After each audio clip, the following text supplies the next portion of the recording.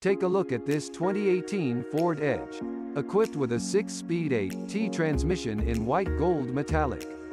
This car comes with some great features including all-wheel drive, keyless entry, alloy wheels, anti-lock brakes and more.